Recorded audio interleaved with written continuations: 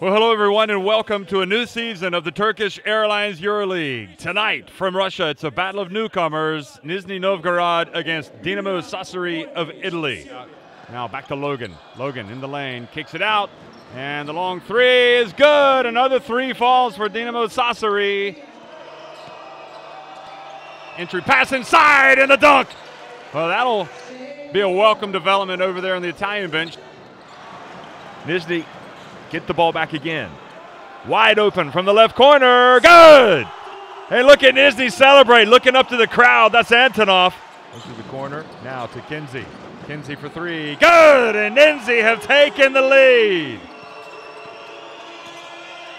Alley oop and a two-handed dunk.